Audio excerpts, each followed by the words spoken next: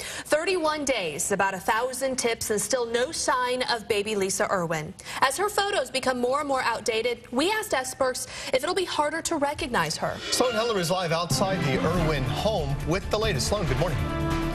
Good morning, Curtis. Well, right now, of course, we have photos of baby Lisa when she was 10 months old and younger. And so the big question is, uh, you know, how much has her appearance, perhaps her behavior changed over the last month? She is turning one year old next week. And we talked to doctors, and they say one major thing to look out for is, of course, her teeth. When she was first reported missing, she had her two bottom teeth. Now she probably has several more.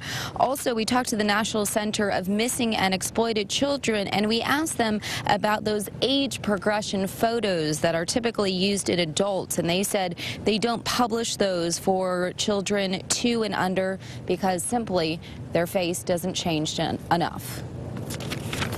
They still have a lot of baby fat in their face, and really their characteristics and their facial features and things like that don't change as much as they do between one and four.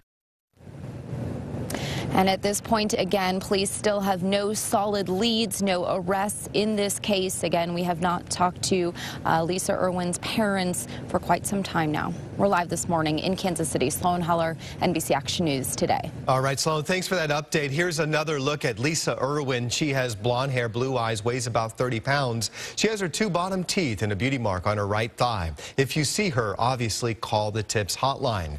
Well, you can also follow along online as investigators search for little Lisa Irwin. There you can watch home video, see an inside tour of the Irwin home, and get a timeline of the night baby Lisa disappeared. It's all on NBCActionNews.com slash Lisa.